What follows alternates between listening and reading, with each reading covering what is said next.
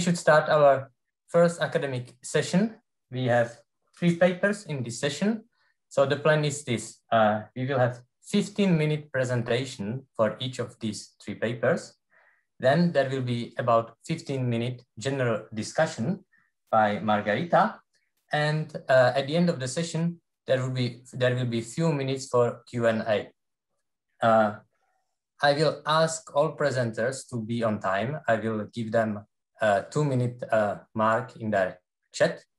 And uh, I will try to be flexible, maybe one minute, but we have to uh, finish on time. There will be time at the end of the session to respond to questions from uh, the audience. The audience can ask question in the Q&A box. So I think we can start with the first paper. The first paper will be presented by Mark Painter from St. Louis University, and the title is Consequences of Working from Home, Evidence from Sell-Side Analysts.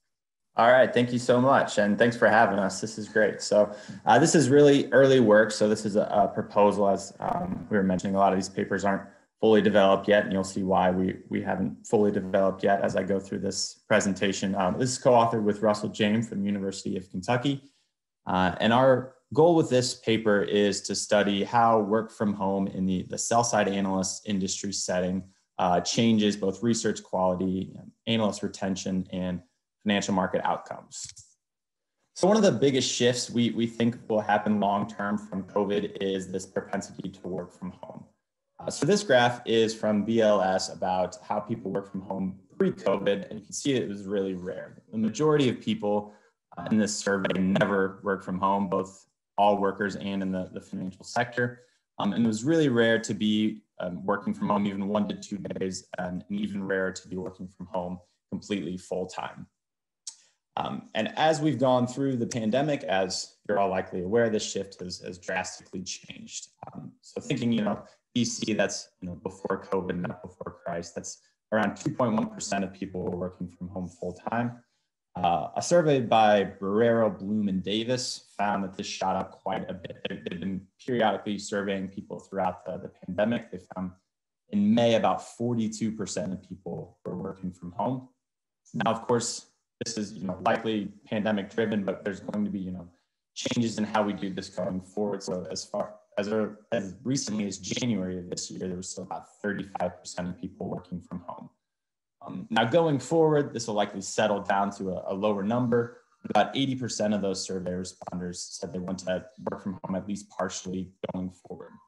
And this is going to be pretty big in the financial sector, we think, as well. Uh, so Dingel and Neiman have estimates of different industries. They found about 88% of jobs in the financial industry can be done at home. So this is a, a sector that's really going to be affected by uh, this new work lifestyle. That raises the question, is this going to be good or bad for these firms? Um, it's kind of mixed evidence so far. So, so on the plus side, it seems like um, uh, evidence has shown that employees really like this flexibility from survey evidence. So the employees uh, enjoy being able to work from home. Um, and there's some evidence that when call center workers went uh, shifted to work from home during the pandemic, they actually had increases in their productivity. So it seemed like work from home does have some pretty decent benefits going for it. Um, there's also some downsides. So it's there's also evidence that um, it can attract less productive workers uh, that want to work from home. So there's a selection effect there. Um, and when you're thinking about more cognitively demanding tasks, uh, so Künn and all looked at the switch from in-person to online chess tournaments, they found that these intellectually demanding tasks that performance actually declines. Uh, there's also less networking and mentoring for junior employees, um, and a lot of those effects that uh, Renee was touching on as well. That can be negative things happening for uh, the switch to work from home. So kind of got these these competing forces. So we want to take it to this financial sector to see um, exactly what the, the consequences have been. So thinking about the sell side analyst industry, this is going to be a lot of highly educated employees that are doing a repeated task, but it's a, a cognitively demanding task. So it's really changing each period. Um, and we think, and we have some early evidence showing that there's, there's likely a lot of variation in how these um, analysts respond to this work from home. Uh, so there's anecdotes out there like JP Morgan is very a big proponent of working at the office. They wanted their senior traders in the office as early as September of 2020, uh, whereas Deutsche Bank is uh, in November of 2020 was still weighing a, permanent shift of two days a week remote working. Uh, so there's these different work cultures. Uh, we're also going to see variation across geographies. Um, analysts aren't all on Wall Street. There, there's still some in Chicago, San Francisco, um, Minneapolis. So we're going to have different exposures to lockdowns. We're going to have different exposures to the health risks of COVID uh, that will also create some variation. So we'll have variation in this work from home measure, uh, but we'll have analysts still essentially doing the same tasks. You know, even if you're working from home or from the office, you still need to forecast Walmart's earnings for this quarter. So we have this outcome that um, they're all targeting, but we'll have variation in work from home. We'll also just have more of a, a general push going forward between you know the bosses of these firms and what the employees want, as this last um, anecdote was talking about. So a lot of sources of variation here. So we want to see if this affects those, those research forecasts of these analysts. And of course, these analysts are really important information, information intermediaries in financial markets. So any change in their research quality is likely going to have financial market outcomes as far as uh, the information environment of firms. So we want to see at the firm level if there's any consequences as well. So this raises the question, how are we actually going to measure this? So some research we'll see today, other prior research I've cited has successfully used surveys, uh, just using the COVID lockdowns or school lockdowns as proxies, or perhaps partnering with one specific firm to get their proprietary productivity measures. We're going to take a slightly different approach. We're going to try to get measures for multiple firms that's still observable. Uh, and the way we're going to do this is using uh, individually linked GPS data to smartphones. Uh, so we can track um, how many analysts are going to the office by matching this data to the addresses of about a thousand brokerage branches that we've collected. So the data we're using comes from a, a data as a service vendor called Veraset. So these companies became pretty popular during the, pandemic and, and, a lot of that COVID research that Renee was mentioning. Uh, there are a few unique aspects here that's going to be really helpful for us. Uh, Veraset's going to give us the raw population movement data. So it's going to be the phone level location and time that we can use to uh, essentially create our own foot traffic measure. Most of these companies will give you an endpoint. They'll say you get uh, how many people want to target on this date. Uh, with this data, we're actually going to be able to create that own measure for ourselves to these brokerage offices. Um, so we get that raw data, but we still get a, a, big sample. It's about 50 million phones from 2019 to today. Um, and that raw processing is a big part of why we're in this proposal stage and not the, full paper stage. We're about 400 terabytes and growing of this raw data. So uh, a lot of data to crunch um, that we're hoping to use the feedback from today to, to create a, uh, an, an interesting study. So just big picture how this works for those of you who aren't familiar with this type of data. Uh, what will happen is, so I've got four people over here and they're all using their phones throughout the day. Um, so if you're using, for example, a uh, weather app to see what it's like that day or traffic on the way to the office, or maybe you're just browsing social media. Um, if these apps partner with Veraset, they're going to send pings periodically to Veraset, either when the app is running while you're looking at it or if it's just left on in the background. Uh, so as they move throughout the day, we're going to capture when they are within this office. So any office building that we have the address for, we can match them there. And then another nice thing about the Veraset data is we're going to be able to see what time they go and what location they're at using the lat and lon. Uh, but we're also commonly get given the altitude of the phone. So here we've got you know Mr. Orange and Mr. Blue at the same building but maybe JP Morgan's on the second floor, Stifel is on the seventh. Uh, we're going to be able to use the most commonly reported altitude of these phones to say, you know, Mr. Orange, Mr. Orange is probably at JP Morgan because he's most likely on the second floor, whereas Mr. Blue is at Stifel because he's on the seventh floor, which is really important for this setting because a lot of these analysts are working in high rises in Manhattan or downtown Chicago. Uh, so it'll really help us isolate exactly which brokerage office we're looking at.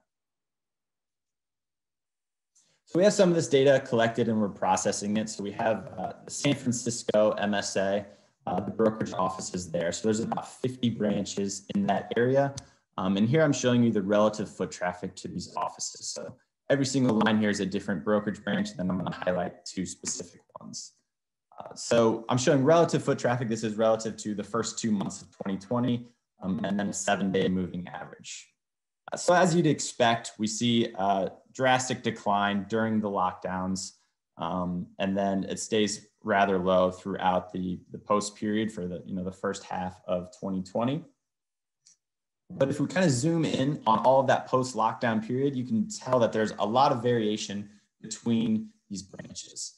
So for example, Stifel is a big proponent of work from home, according to our data. So they dropped about 90% lower than uh, pre-pandemic and have stayed really steady at that level. Morgan Stanley, however, has a similar drop at the beginning, but has kind of trickled back into the office more so. So they're uh, still much lower than pre-pandemic, but about 63% lower.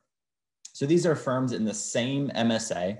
So they're exposed to the same lockdown orders, the same, you know, broad COVID health uh, exposures, and yet we still see variation there. So there's going to be a lot of sources of this variation we can exploit to think about, you know, did a Morgan Stanley analyst uh, produce a better forecast than a Stifel Nicolaus um, analyst? The way we're going to measure this is essentially uh, that work from office measure I was showing you in reverse. So how many people are working from the office in uh, a branch during a specific quarter during the um, 2020 and beyond relative to our pre-period. And then we'll just take one minus that to create the work from home measure. So we're not going to be able to do this uh, specifically for each analyst because our data agreement doesn't allow us to actually identify a phone as a specific person.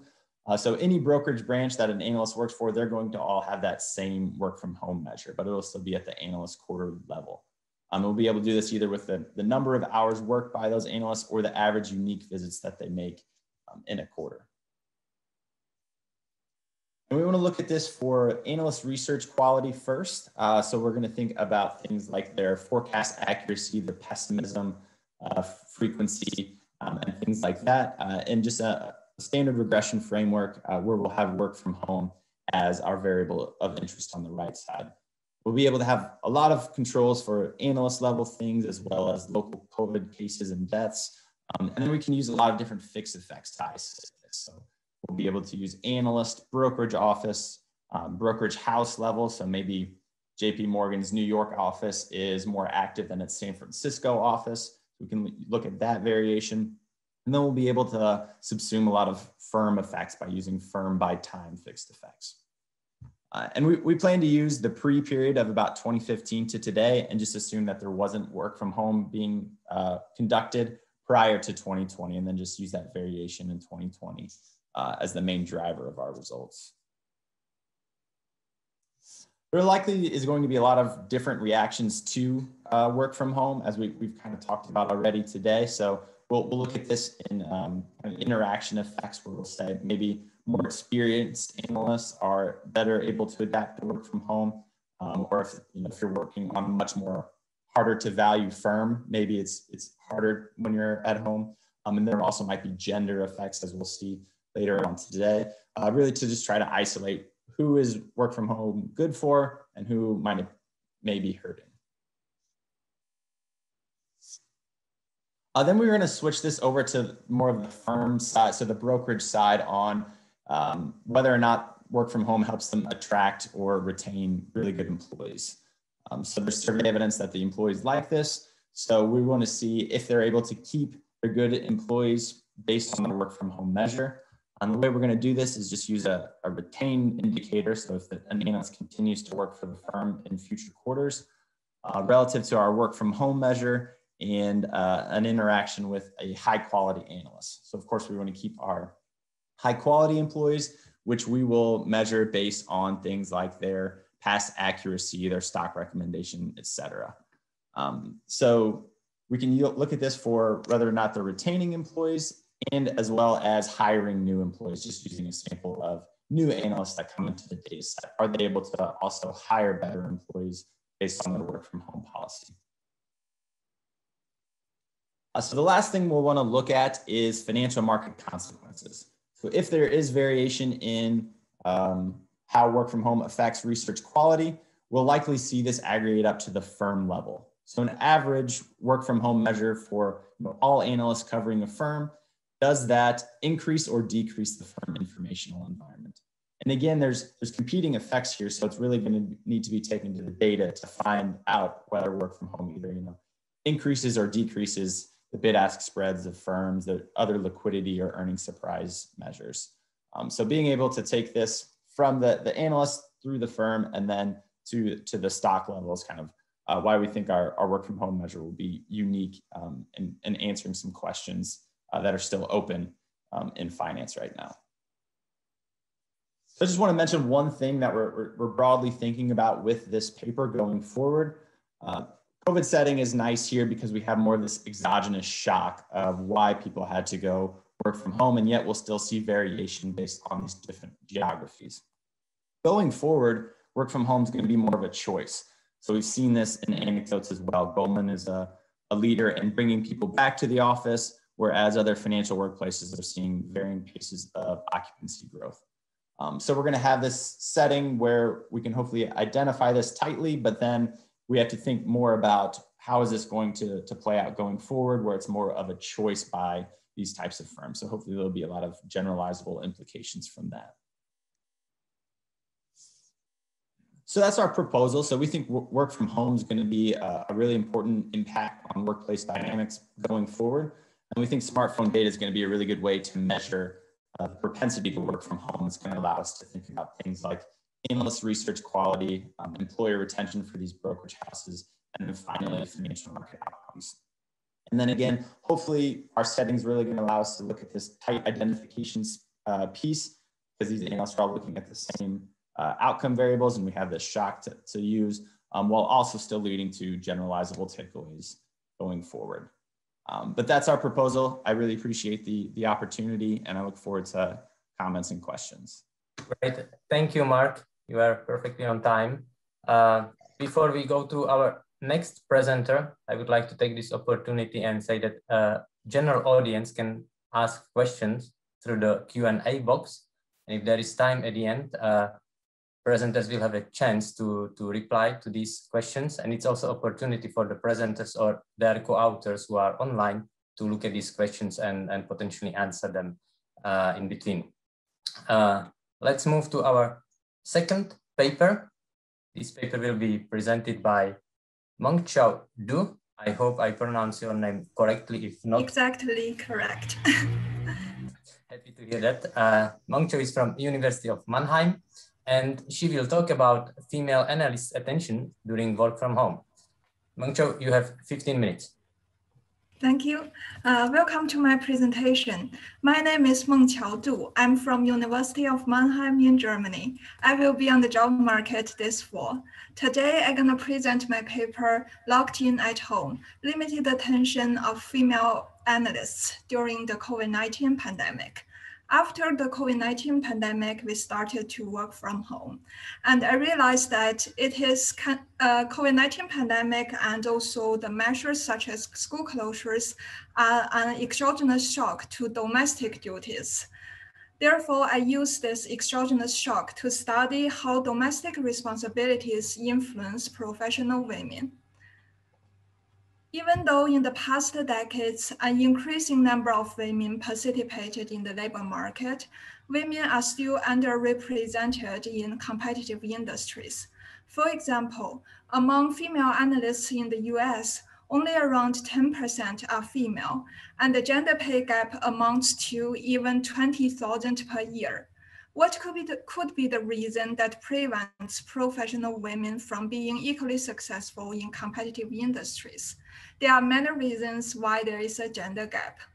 Among them, uh, Becker in 1985 used sexual division of labor theory to explain the gender gap in the labor market. In this theory, it is optimal for a household to specify who does what, who does the specify in market work and who specify in uh, domestic work. Women are usually the ones spend more time and efforts on domestic activities. And when women participate in the labor market, these professional women have less time and limited attention for market work because they are distracted by domestic work. In the financial analyst literature, it is well established that limited attention leads to less timely forecasts, and less timely forecasts have unfavorable career outcomes. Putting together, it is possible that professional women are distracted by domestic activities, and therefore they are in a less favorable position in competitive industries. What happened after the COVID-19 pandemic? We see that women are more vulnerable to COVID-19 related economic effects. As uh, seen from the media coverage, women published less during the pandemic. And Rini also mentioned that at the very beginning in our, in our workshop. And also, um, McKinsey report showed that women are more likely to lose their job and earn less after the COVID-19 pandemic. So taking these interesting perspectives together, I take advantage of a quasi-natural experiment in which schools are exogenously closed by states during the COVID-19 pandemic to study whether female analysts are more likely to be influenced by domestic responsibilities. I found that female analysts are less likely to issue timely forecasts after the COVID-19 school closures. With manually collected data, I use triple difference estimation to show that mothers are 20% less likely to issue timely forecasts after school closures. So this quantifies the negative effect of COVID-19 school closures on professional women. Female analysts uh, also shift the time of the day when they work they shift the forecast release time to hours without intensive housework. However, I do not find significant and robust evidence that COVID-19 school closures also influence forecast accuracy. The contribution to the literature. The paper is the first to link domestic distractions to financial market. In the limited attention literature, uh, studies have shown that contemporaneous earnings announcements or, for example, spot events leads to limited attention in the financial market and influence financial decision making. In this paper, I show a causal uh, effect of domestic distractions on limited attention in the financial market. Secondly, there are many studies examining the reasons for the gender gap in the labor market. This paper provides empirical evidence for the sexual division of labor theory in Becker 1985. Uh, finally, the paper also contributes to our understanding of the social impact of COVID-19. This paper quantifies the negative effect of the COVID-19 school closures on professional matters. It should be noted that lockdown measures may unequally influence different groups. Next, move on to the empirical part. The main data comes from the IBES database and cover earning announcement events and individual analyst forecasts. School closure data are collected from media coverage or official documents online. I also need to manually collect analyst identity, gender, and location because IBES database does not provide the identity of analyst. Firm level control variables are obtained from CRSP and Compustat. The sample. Uh, I use the earning forecasts after earning announcements of the first two quarters in 2020. In this way, I have a semi-symmetric window around the school closure events. Uh, yeah, and to study the timely response of analysts, I use the first forecast by each analyst for from uh, current uh, firm's next quarter uh, forecast, earnings forecast after the firm's current quarter earnings announcement. Following previous literature, I also did some screenings on the sample. Uh, these are quite standard, so I will just omit in this presentation for the sake of time. So the main dependent variable the forecast timeliness of analyst uh, forecasts is measured by a dummy variable equal to one if the analyst issues an earnings forecast for the next quarter within one trading day after the firm's current quarter earnings announcement date. In this figure, I plot the probability to issue timely forecast in a four-week window around the school closing events. So as we can see, for both male and female analysts, there is a reduction in forecast timeliness after the COVID-19 school closures. However, the effect it was larger and lasted longer for female analysts. The identification strategy mainly relies on this uh, exogenously closed schools after the COVID-19 pandemic. So as we can see in the map, there was some uh, variations across states. California, Kentucky, New York, and New Jersey are among those who, uh, who are first announced a requirement or recommendation of school closures. Later on, the other states also followed until the end of March, uh, basically all states announced a state level school closure measure.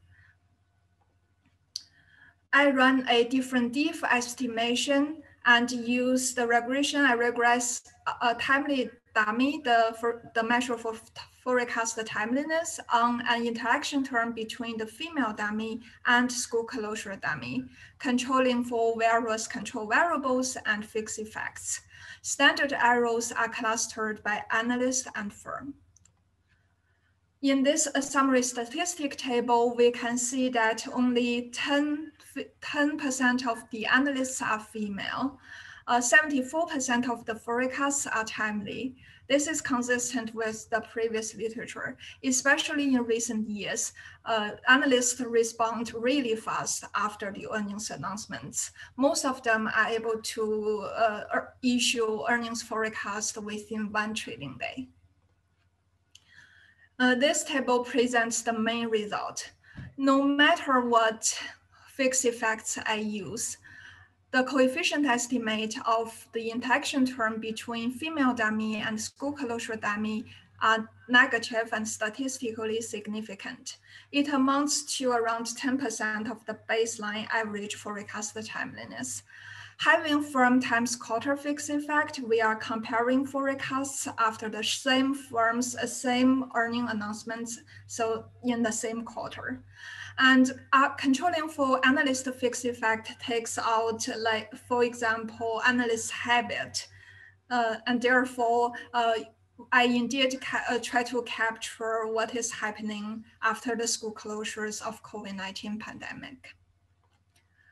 The comparison of forecast timeliness in the whole sample pooling analysts with and without children may underestimate the treatment effect because child rearing duties are critical for the effect. I collect data on family conditions of analysts by checking their Facebook pages.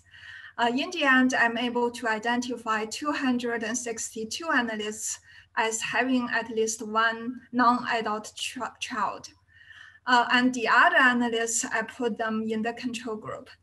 This setting allows me to conduct a triple difference or say difference in difference in differences analysis, which uses higher order construct to draw causal inference. First, I plot the change in the percentage of timely forecasts for four groups of analysts. Uh, first, I divide the analysts based on their gender, and secondly, based on whether I can identify them as having children. As we can see, there is a negative effect of school closures for all analysts, but the effect is as high as 14 percentage points for female with children. And for male analysts with children, the effect is not even statistically significantly different from zero. Uh, among other analysts, there is a significant negative effect because, of course, Facebook data is not a perfect way to identify whether analysts have children or not. These analysts in the control group can be still influenced by school closures or lockdown measures. So there is a negative effect in uh, forecast timeliness, but there is no gender effect. Uh, this table presents the results of the triple difference analysis. The triple interaction term has a negative and statistically significant effect. So uh, this estimation quantifies the negative effect of forecast timeliness on mothers uh, on, on, mother, on mother's forecast timeliness, and the economic magnitude amounts to around 20% of the average forecast timeliness in the sample. So uh, to summarize, this uh, triple difference estimation tells us indeed domestic duties influence uh, mother analysts and the effect is economically large. For the analysts who are not that likely to have children, there is no gender difference.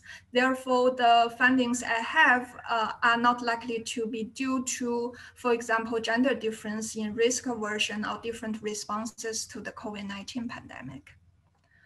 In addition to forecast timeliness, I also uh, found that uh, female analysts shift the time of uh, the day they work uh, I use the forecast issue time from IBES database and converted to local time. So as we can see in this some statistic, uh, summary statistic like table, uh, we I see that uh, we can see that there is much change, much change for female analysts. Okay, thank you. I have two minutes. Uh, so uh, the, in the regression, I show that female analysts are less likely to issue timely forecast during house uh, work intensive time. In the end, I also examine other forecast qualities, for example, the forecast boldness and accuracy. However, how school closures influence this, uh, these measures are not that clear as uh, forecast timeliness. Previous literature has shown that limited attention influences forecast timeliness only because uh, analysts can delay their forecast to make them more accurate. And also for the measure of forecast boldness, we usually compare the forecast with the consensus. But when analysts are distracted, they may not even have time to pay attention to the forecasts of their peers. Therefore, the hypothesis here is not as clear as uh, what we have for forecast timeliness. Nevertheless, I run similar different diff analysis here and do not find robust and significant evidence that COVID-19 school closures have a effect on Uh, of forecastability or accuracy of female analysts. So to conclude, the paper found strong and robust evidence that COVID-19 school closures negatively influenced the forecast timeliness of female analysts. I don't have time to show further cross-sectional effects here, but it is interesting to find that this effect is larger in states where the general gender attitude are conservative. In states, women are more likely to work more on domestic work. Uh, conducting a triple difference analysis with manually collected data, I estimate the negative effect on professional mothers. So it is important to note that even women in a competitive profession, uh, they are more vulnerable to COVID-19 related social effects and they are taking more domestic work. From the bright side, if we can get more support from the society or there is a more equal allocation of work between gender at home, the gender gap may be able to be mitigated. So thank you very much for your attention and I appreciate the opportunity to present my paper here. Thanks a lot. Looking forward to your comments. Now we will move to the third paper. Uh, the third paper will be presented by Denis Sosyura from Arizona State. And Denis will talk about the economics of long distance CEOs. Dennis, you have 15 minutes. Thank you very much for having me. Um, this is Joan Walk with Ran Duchin at Boston College, who's here with us in the audience. Um, to motivate this paper, uh, I would like to point out that just like there's a growing trend towards remote work in the general labor force, there's definitely a growing trend towards remote management more broadly in corporate governance. So more and more CEOs are opting to work remotely from different locations. And the 2020 pandemic was a significant catalyst that will likely lead to the um, lead to the uh, continuation of this trend. So for example, in the 2020 um, Gartner survey of top executives states that um, nearly three quarters of executives plan to increase their remote work after the pandemic is over, and 90% of these executives expect minimal disruptions while working offsite. So given that there seems to to be a trend towards greater remote management. That trend is likely to stay or accelerate. The question we'll ask in this paper is how effective is remote management during normal business times? So when we get back to the kind of business as usual, um, the goal is to see how effective such arrangements are. And here, there are a couple of divergent views in remote management. On the one hand, uh, we have efficiency gains. So um, survey evidence indicates that CEOs spend about three quarters of their time in meetings. And we know that meetings could probably be done more efficiently on Zoom and remotely. And another 11% of, of their time CEOs spent in uh, electronic communication, again, which can be done effectively off-site. Organization design literature points out to numerous benefits of uh, this hands-off or remote management style, and some of the CEOs are strong supporters of this hands-off management style from a distance. So here, here, I'd like to give you a quote from the founder and CEO of Patagonia, who says that I'm a strong advocate of an MBA management style, where MBA stands for managing by absence. Okay.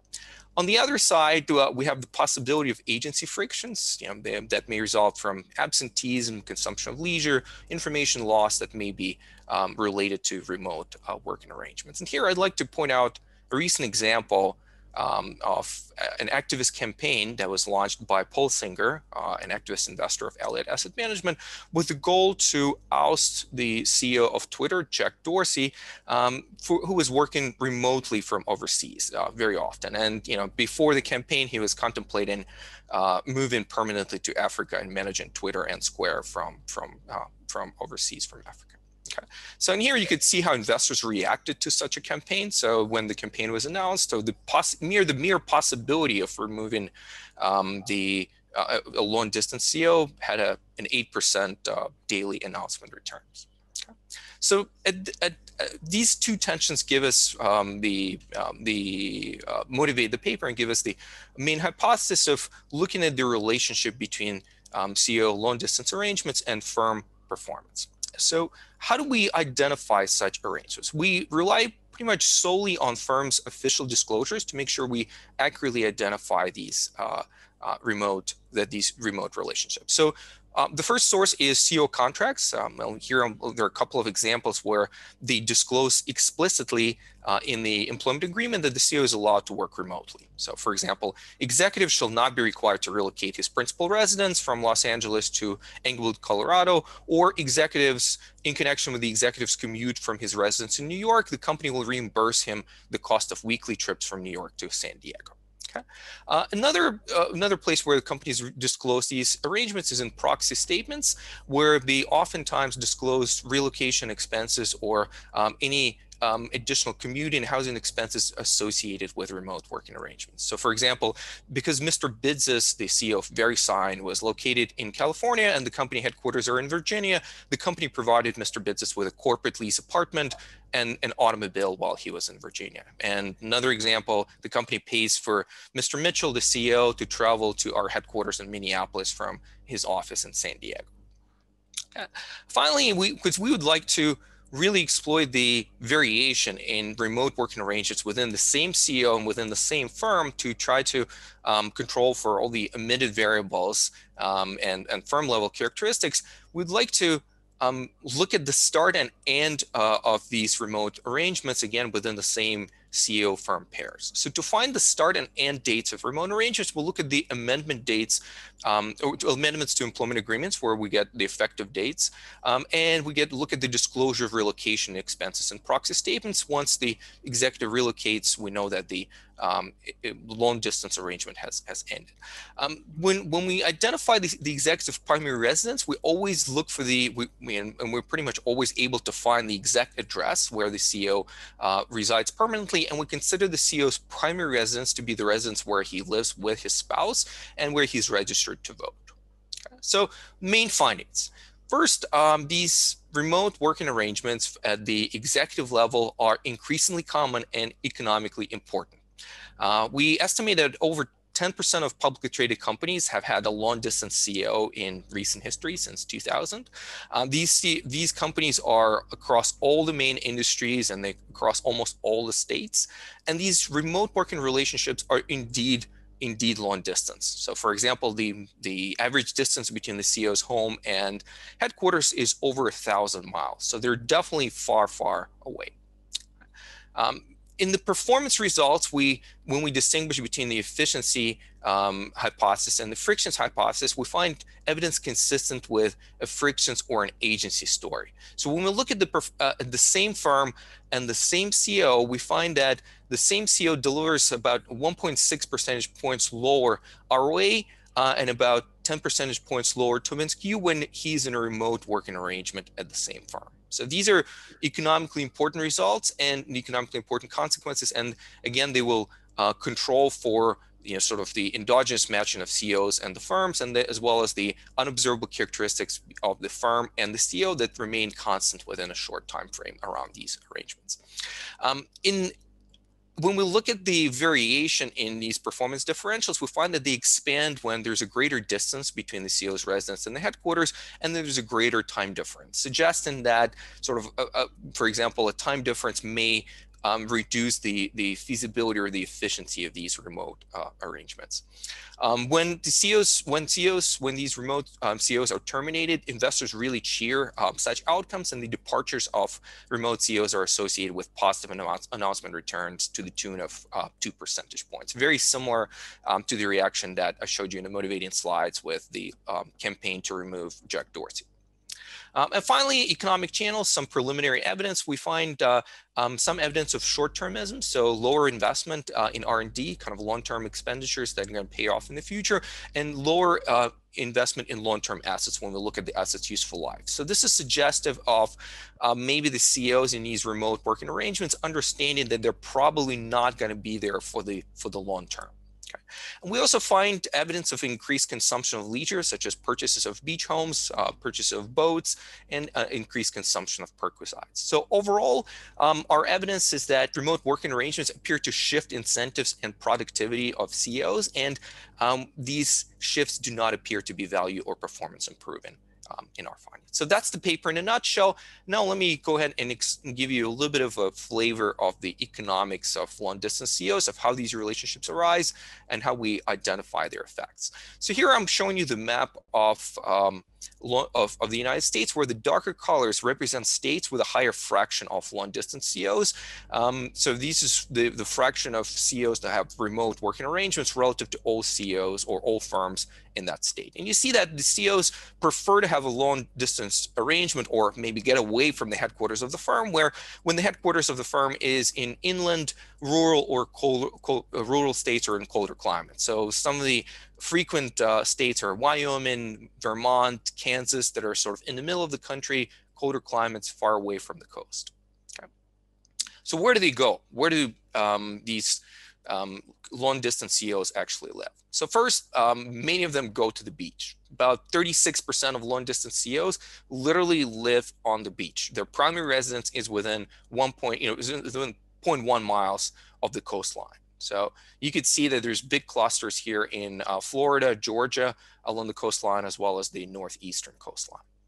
Second, relative to headquarters, they tend to move to warmer and milder climates. So you see that they're moving generally from states like Nebraska, Kansas, South Dakota, North Dakota over to the coasts and, and further to the south. You see there are no commuters who chose to live in, in North Dakota, for example, uh, or, or, or in, in Nebraska or in Louisiana uh, in our sample. And lastly, they tend to gravitate towards states with lower taxes. So both pecuniary and non-pecuniary incentives seem to matter. So uh, let me show you a few interesting patterns here. When you look at the borders of the two states, uh, where they could have chosen to live either on, on either side of the border, presumably. If you look, for example, at Washington, moving from left to the right, Washington in the upper right corner of the state has zero um, capital gains and income taxes, and most of the CEOs sort of prefer to live on the on the side of the Washington border in the state of Washington rather than the state of Oregon, which has high taxes. The same with Nevada and California. So you could see that executives opting up uh, to live in Nevada. Tennessee, again, no state income tax, to, uh, and then those on the border opting to live in, in uh, lower tax residences. So you can imagine, overall, both pecuniary and non-pecuniary incentives matter for the location of long distance CEOs, and they tend to optimize both on lifestyle and, and taxes, it appears. Okay, now um, the main results on performance. Um, so here, this is the perhaps the main chart in the paper that shows in event time the effect of long distance arrangements on uh, firm performance. So here on the uh, y-axis we have uh, return on assets at the firm, and on the x-axis uh, on the x-axis we have the event time in years relative to the beginning of the working arrangement. So we find a, a big and persistent drop in the um, ROA when a C, when a firm CEO begins working remotely, and such a drop is persistent and shows no reversal in, in the next few years. Okay, so that's a graphical illustration.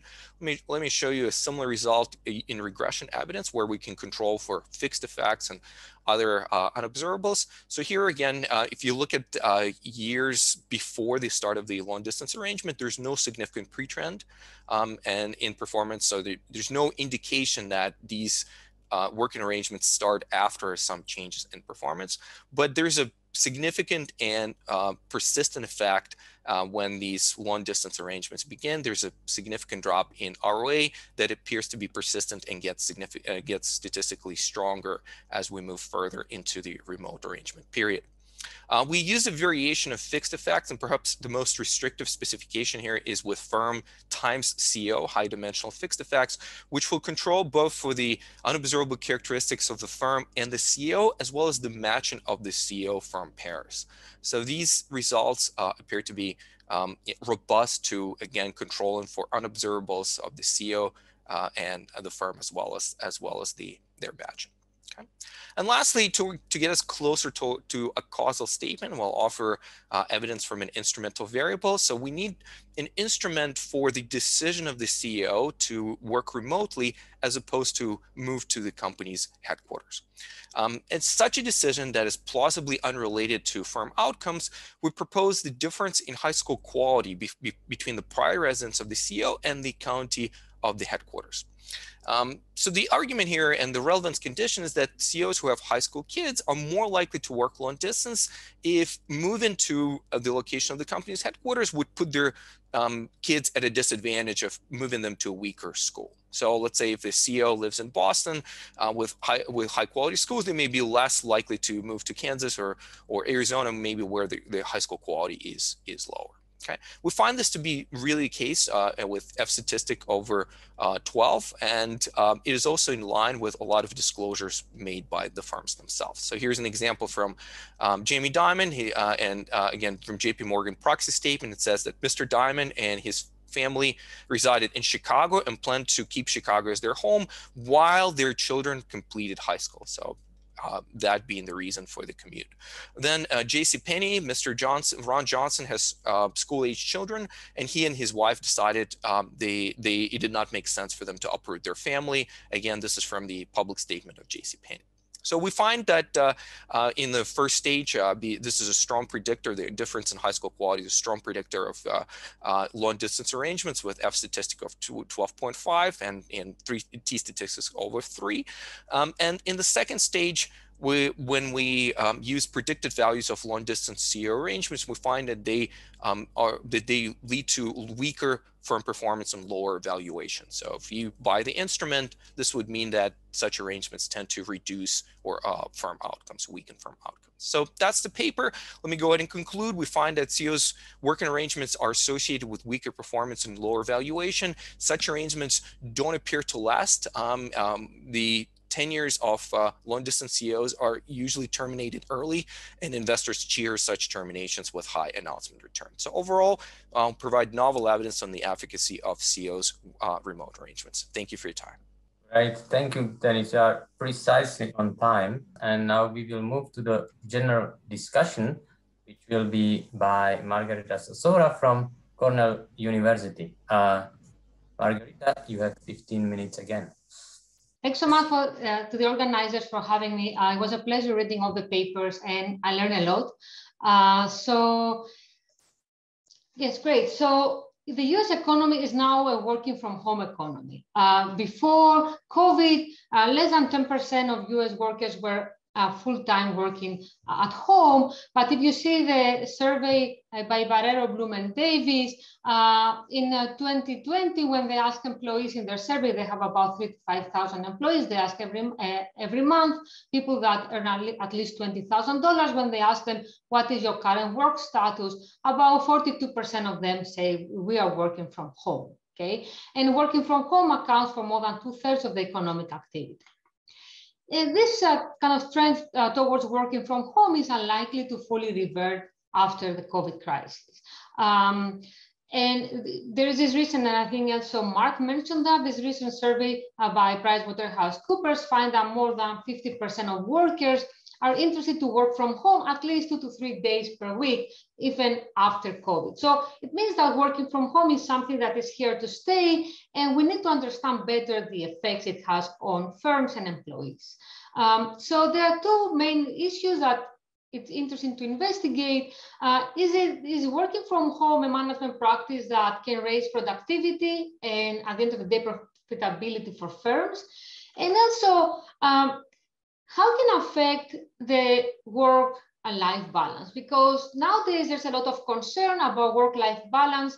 Uh, if you think about the percentage of parents who work full-time, both of them work full-time. Uh, if you see in 1970s, it was about 40% of families uh, parents with fam with uh, children were working both of them. Nowadays, it's uh, more than 62%. Uh, that means there are even more concerns about uh, work-life balance and policymakers also try to address and have measures trying to have policies to improve it, but you know we have very little evidence on how policies affect it, and potentially working from home could be something that can affect work-life balance uh, for uh, employees with, uh, uh you know uh, young children.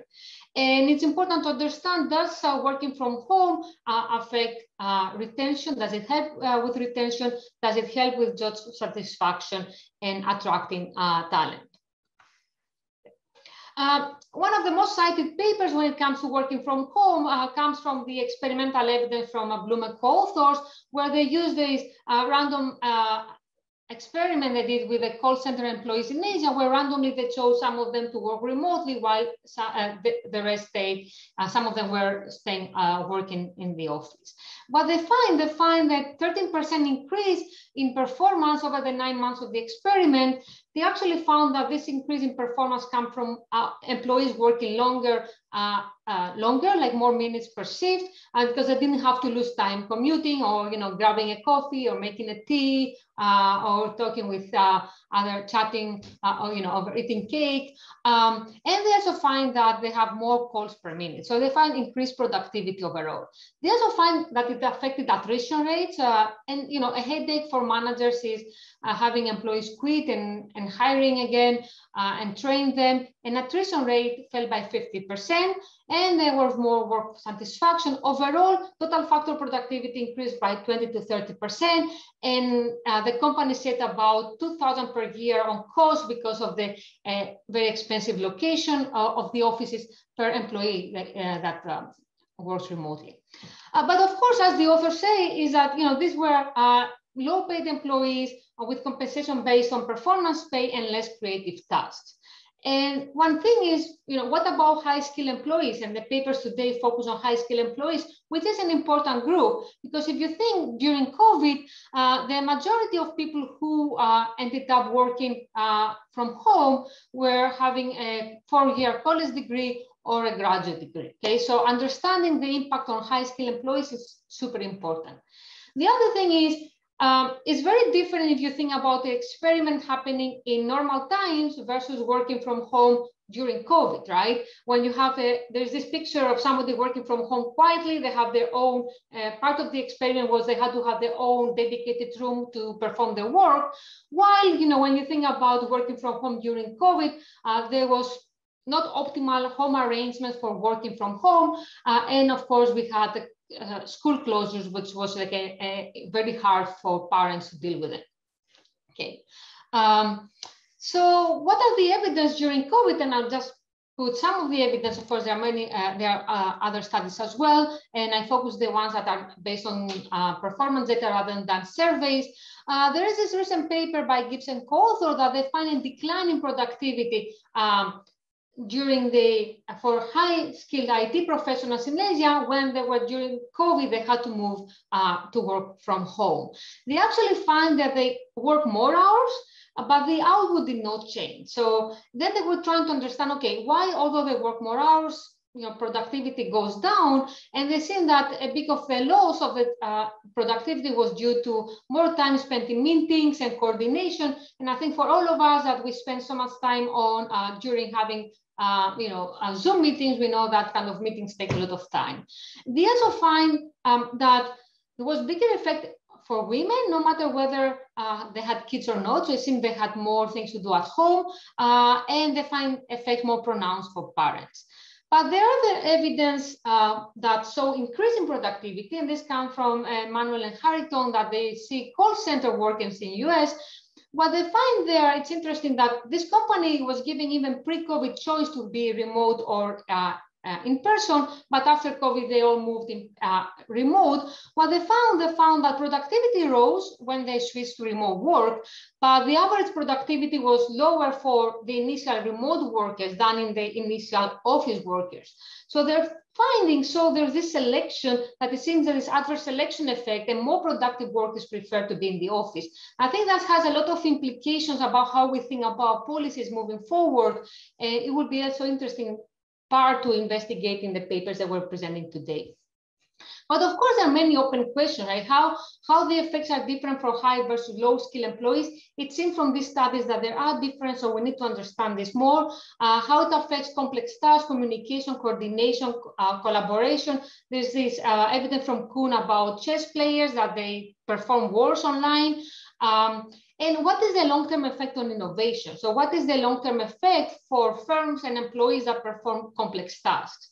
Um, especially if you think about after COVID, uh, after COVID, uh, and then having a, a, choice whether to be uh, working from home or not, a big question is what could be the effect of this choice? We saw some evidence about employee selection. We need to understand what drives this negative selection, right? Is it a shorter uh, career ladder for those that work remotely? Um, and so we need to understand it because it can have implications for future policies. It will make harder for companies to give choice to work remotely if uh, they cannot address this uh, adverse selection uh, effects.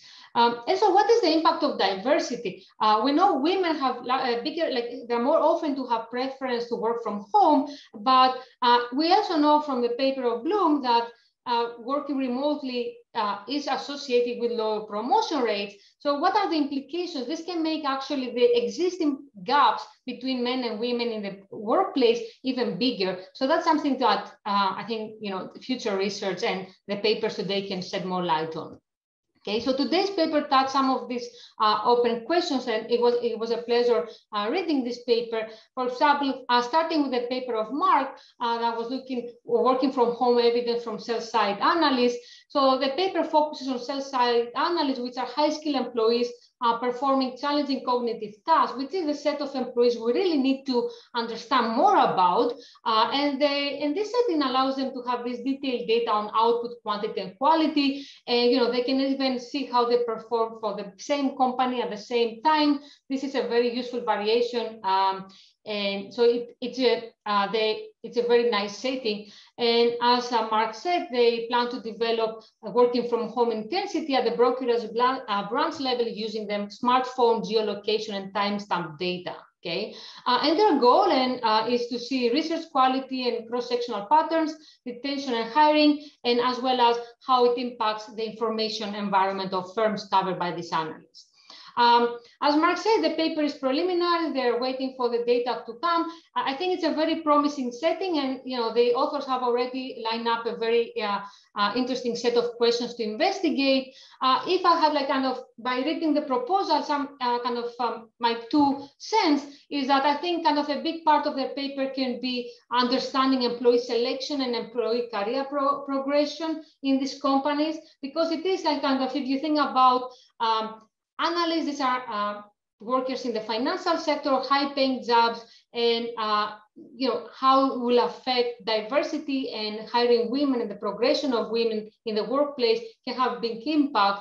Um, so, do they see any effect on promotion or career progression for men and women for uh, in high working from home versus low working from home environments? Uh, the, can they see any difference in promotion rates? Uh, maybe they can even see, um, you know, uh, do do, do women will have a different kind of uh, promotion ladder in these two environments? And uh, maybe they can have some insights to understand the new hires and if they also see negative selection effects uh, and understand better what can drive it. I think understanding um, kind of this negative uh, selection effects of remote work, it will be uh, first order. Um, and I think one other advantage they have is by kind of uh, waiting for the data is that they can also focus a bit more on the long-term effects um, uh, for working from home and about the post-COVID era. Uh, do employees get better over time in remote work, right? They can give us also some insights, given that they're gonna have a longer horizon, they can give us about some insights about uh, you know, employees getting better uh, doing this over time. So um, so overall, great setting. I look forward to, to, to read uh, the first uh, draft. Um, let me move to uh, Mengqiao's paper, uh, where she wants to see, um, you know, women and how they're impacted by school closures and the attention uh, and, and, their performance in the workplace. And we know women have been deeply affected by the COVID pandemic. I think Mengqiao's paper is kind of hitting a, a very important issue.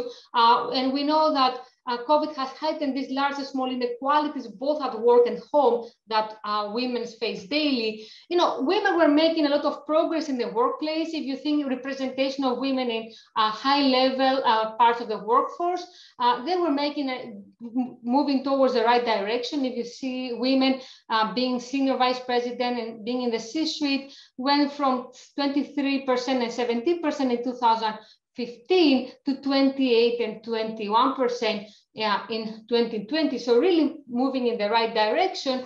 But COVID presents a major setback, especially for women. Uh, this is a survey by McKinsey, and they say, you know, how likely you are to downshift your career, uh, but not leave the workforce after 2020. You see that women are more likely to downshift their career, especially if they have young children. And when you, they ask them how likely you are to leave the workforce, you see that women with young children, have 23% of them are thinking to leave the workforce. Okay, so that means that COVID can have a really negative impact, take us back many, many years on all this progress that women made in the workplace.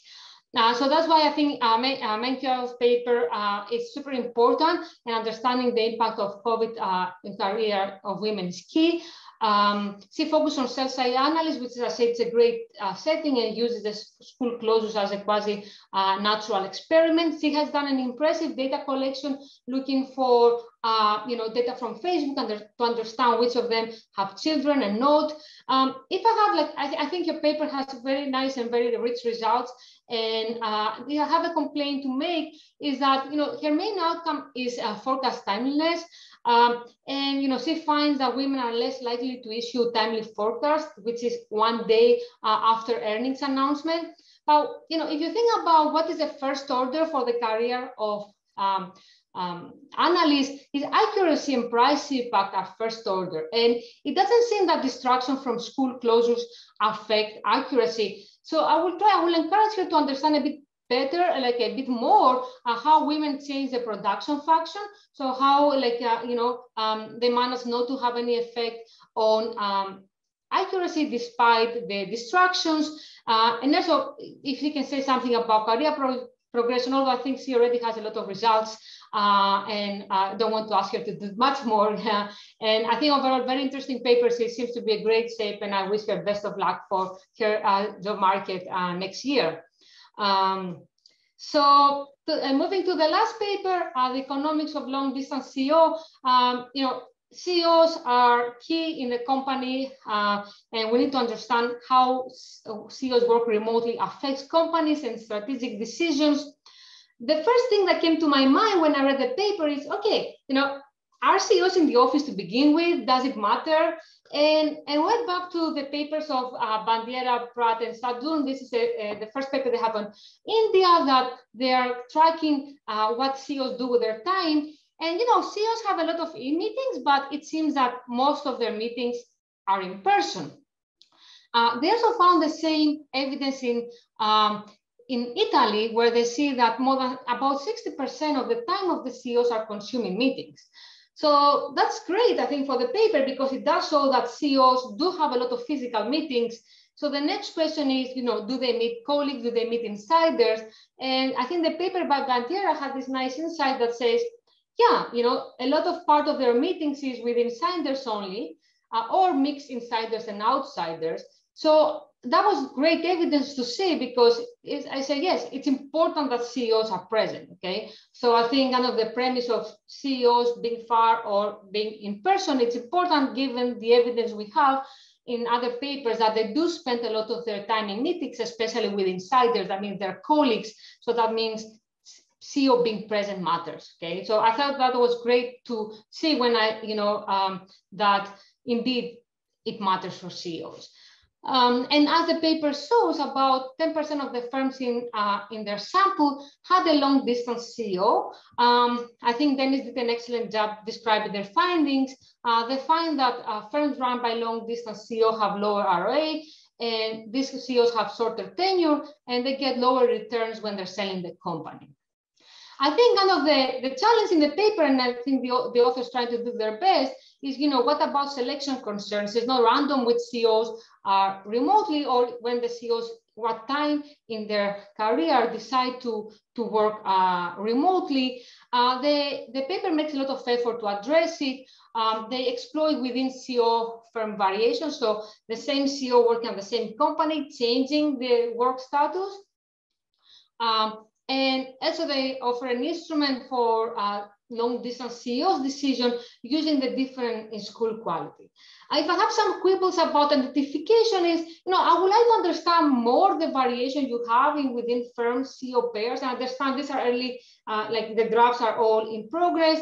Uh, I would like to have more details about how many CEOs change their work arrangement by year. Uh, how exactly like your this variation you have within firm CEO, you know, um, is driven by how many CEOs what they do. Uh, also, uh, over what area is the school quality is estimated? I wanted to see, you know, a bit more details of how you construct your instrument. I, I think overall strengthening this part of the paper as much as possible will be kind of uh, greatly benefiting the paper. Um, kind of a concern I had is when you see that, uh, as um, Denis um, pointed out, if you see that where they live, you know, they live in the coast a lot, uh, if you see where the long distance CEOs where they're more likely to be headquartered. Uh, they are more likely to be headquartered in states like, uh, you know, uh, uh, Dakota, Nebraska, Kansas, Wyoming. And what I had in mind is that there might be very specific industries that are located in these, um, uh, these uh, areas. What you might be picking is picking something that has to be time uh, you know, time trends, specific industries, I think that's very easy for you to address. Like I will kind of having this, um, you know, year fixed effects, trying to address differential uh, um, trends in these industries. But I think that's something uh, the authors can uh, easily address. I think just having more, you know, strengthening that part of identification will even, you know, make this paper even stronger. Um, so overall, uh, you know, all the papers, um, go after topical questions. The authors bring new insight, uh, have a very impressive data collections. Um, we know that uh, working from home is here to stay. It was 5% in the pre-COVID, about 60% during COVID. And the surveys suggest that working from home will be about 20% of the workforce post-COVID. So that means it will have a big impact of how uh, employees work and big impact on firms. And we need to further understand it. Um, thanks so much and good luck for all the papers. Thank you. Right. Thank you. Thank you, Margarita. Uh, we have about 15 minutes for the presenters to respond uh, to the discussion. And there is also a few questions and comments in the Q&A box. So I think, uh, Mark, you, if you want to respond. Sure, thank you. Yeah, so thank you very much, Margarita. That's really helpful. I like, especially now with the proposal, the, the guidance is helpful. We were thinking that the, the employee progression was going to be an interesting aspect to tie it more to even uh, labor economics. So it's, it's good to hear that that part's going to be important. And I, I agree that the cross section of analyst characteristics, I think is going to be where a lot of interesting dynamics happen. We've seen a lot of things about how this is going to be an unequal change for a lot of people. So really highlighting that's going to be um, important, I think. Um, and then there was one comment in the, the Q&A about whether analysts may or may not be likely to herd during this period since uh, the cost of gathering private versus public information may change.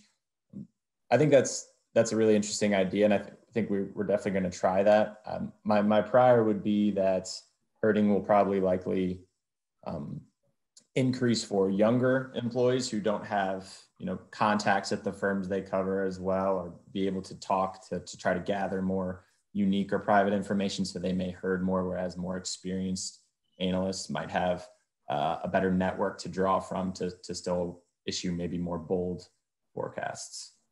But yeah, thank you again on, on those great comments. Thank you, Mark. Uh, Vikas, would you like to ask your question? If so, please unmute yourself. Uh, yes, uh, thank you. Uh, I think uh, I think Mark already alluded to my question regarding herding behavior post-COVID, uh, and the main issue again is how much weight you put on public versus private information. And two things uh, increase the cost of private information. One is the difficulty of making forecast uh, during COVID when essentially it's a huge macro event. Uh, and the second thing is uh, you don't have the ability to collect private information as easily sitting at home. So I, I think uh, Mark did allude to uh, this, this issue. And I just wanted to know if looking at herding behavior would be interesting uh, in the in the COVID intervention. Thank you. And I think as, as we collect more data, we might be able to separate the, the, the big macro effect with the work from home effect as um, you know, we get further away from that shock. We'll have um, still hopefully variation in work from home that we can just think about that private versus public um, information gathering. Then let's move to Mengqiao. Uh, I think uh, you have a chance to respond, and I think Miriam had a question which you can ask in person. Uh, thank you very much, Margarita, for your helpful comments.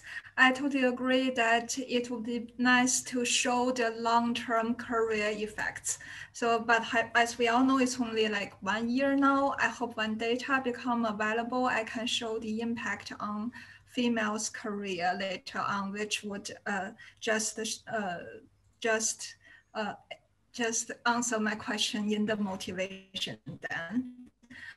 Uh, and also about the effect on forecast accuracy, uh, as uh, in the table I show, there is a negative effect, but uh, the results are not robust. Uh, it is not statistically significant. So I'm trying to do some cross-sectional uh, variation tests to see whether this effect is larger on forecast accuracy of some of the analysts. Uh, so of course, some people may play it strategically by delaying the forecast. Our uh, accuracy is more about their cap capability to interpret information or uh, or because they have information advantage, uh, these are less likely to be influenced by this kind of uh, short-term distractions. Uh, but indeed, I will also examine further on that issue. So overall, I think uh, not I have, I do not want to overstate my, the contribution. Uh, now what I have is that timeliness may influence the career of the female analysts because it is established that timeliness influences analysts' career. Uh, it may also influence the information supply in the financial market. But again, I do not want to overstate it because uh, only 10% X uh, post are female in the uh, financial analyst industry. Uh, their delay may influence the financial market to a certain extent. Um, I see another very interesting discussion in the Q&A that there may be domestic help among analysts. I agree, especially for analysts who usually earn a, a, high salary, they are very likely to hire some help at home. So that is the good thing about COVID-19 school closures. I, I, I, did something, I tried to do some uh, something on the, uh, like to measure domestic um, work, I try to use school holidays and stuff like that. However, it is expected and uh, people can hire help, do arrangement. Uh, but for COVID-19 school closures, for, even for those who have uh, may, may be able to hire help, uh, their life could have been influenced somehow. And also, I also uh, agree that the effect for professional female analysts should be smaller compared to the general population. But surprisingly, I still found some significant results here. So it seems that even for this uh, like a very competitive, very competent female, uh, they still need to take more domestic work and have to be distracted from work. So I think that's all my response. I see other interesting uh, questions in the uh, question in the chat as well, and I, I will respond later sorry, I can see that Renee has hand up and also Miriam. Uh, so please go in any order you prefer. Uh, yeah, so I was just thinking because Jesus Sala had a, a comment about uh, what policy uh, proposals we could make. Mm-hmm. Um, and so my suggestion, um, sort of thinking about uh, Denis's uh, presentation about the, the CEO contracts, um, is uh, why don't companies allow um, women t- or women and men to include the provision of domestic um, helper services in the contracts? Uh, so if they can allow for CEOs to live in different cities as part of the contract, it should be straightforward to also say that the company will pay for um, the women to have uh, domestic workers, right, or help at home. Um, and so that's my policy proposal to corporations uh, that they should be open to contracting over domestic help um, in order to support the very, it seems like the female analysts were actually very high performers. Um, so that seems like a win-win. Exactly, yes. Yeah. Okay, so uh, I have this uh, one kind of uh, big question, uh, big picture question, and then a bunch of small mm-hmm. things which I can uh, ask your email later. So the I, I, listen, I like first of all, I liked your paper a lot. I thought the presentation was great, also. Uh, but I'm gonna play the devil here, um, and and not that I, I, I buy your story, okay? But I'm still gonna ask. Uh, I'm still gonna play the devil. Um, my question is: Is it really about gender, or is it about having two people who, you know, both are very career driven? You know, most of the men, uh, most of the women, we I think we also see this in our profession, you know, that are let's say finance professor, analysts, they're also married to a man who works. But uh, a man who works sometimes has a wife that works and sometimes doesn't have. So you know, it would be interesting to see if what you're um, documenting is just an issue of a dual career parents, or is it really about gender? Um, that's mm-hmm. that's the kind of big picture question. Even mm-hmm. though I still buy your story but I'm but mm-hmm. still I'm going to ask that. Some some mm-hmm. small things, you know, I, I think from the control group, I would drop uh, observations of people for which you cannot find a Facebook um, page because mm-hmm. we really don't know what their status is. Mm-hmm. Um, also, there's a variation, and when schools close, there's actually a nice data set which I was not able to get access to from the Davidson Institute, where they actually track it by by uh, state. It's actually a really cool data set, but they didn't want to share it with me. But if you can get something like that, that would be really state and date. Um, and also just to explain a little bit more why it's a big problem that the that the women analysts are slow in issuing uh, uh, their uh, forecasts. That's it. But those are my questions. Mm-hmm. Uh, thank you very much for your comments. I also see them in the chart. And uh, about the big picture question, yes, I, I actually didn't intend to make this as a gender story. Uh, I want to use gender as a uh, aggregate measure for the domestic work they take. So uh, of course, I, I totally agree that uh, what I mean here is uh, those who are distracted by domestic work have less time or energy per unit of time for work. Uh, and that is a source of limited attention in the financial market and also the labor market. and I think gender is a good way to, you know, to measure uh, amount of work taken by people uh, based on a lot of empirical findings. Women usually take more tasks at home. And it, it, I agree that for female analysts, these are very special groups of people. So uh, I also expect the results to be you know, at least weaker compared to the general uh, population, uh, but surprisingly, they still uh, do, and uh, especially for mothers. Uh, so yeah, I totally agree. And uh, perhaps if uh, ideally I have more information on their family conditions, what their husband or wives do, that would be perfect. But as far as I know, it's not it's not possible. It's very hard to get information like that. But mm-hmm. if data is available, that would be very interesting. Perhaps not only among the citing analysts, even in other um, uh, in other sectors, that would also very interesting to examine. Thanks a lot. So sorry to interrupt you. I would suggest that we move mm -hmm. to mm-hmm. Denny so that we stay on time and if you can take it further. Of course, I can time. also write that. Yeah, yeah. So uh, let's go to mm -hmm. Denis and also Marco uh, had a question. Uh, my apologies for letting you wait. Yeah, well, uh, my question is very simple. I don't understand if uh, there are such inefficiencies from uh, these CEOs, uh, you know, living near the beach rather than close to the office, why companies allow it? So why do they take this, you know, 10% lower uh, profitability rather than, you know, simply uh, kicking them out immediately or actually not hiring them in the first place?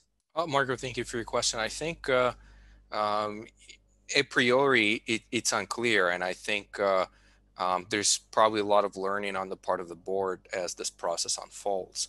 Uh, the upside is that you know you can make an argument that you could hire a star CEO that's outside of your local pool, and you know that it may allow you to attract talent that you wouldn't be able to attract otherwise to accommodate these prospects. And I think CEOs themselves might be learning as well. You oftentimes you decide I'm going to just commute, but when you do the commute in day in and day out, and I think that happens to us academics as well, um, you realize that that situation is not sustainable. So to me, this I believe that there is uh, ex ante expectation that this could be a sustainable option, both in the part of the CEO and the board, but then there's learning in the in the process. And to give you a specific uh, uh, piece of evidence, I think that goes to the learning by the boards. When we look at CEO contracts, we find that once firms have um, have had a commuter CEO, long distance CEO, oftentimes the next time they craft a contract for the incoming CEO,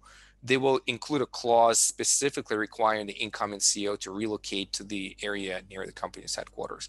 Like we've had one, we've learned from it, and now we're requiring you to move. Um, so given that this is a relatively infrequent process, I think that that's that's what's in our view that's what's happening.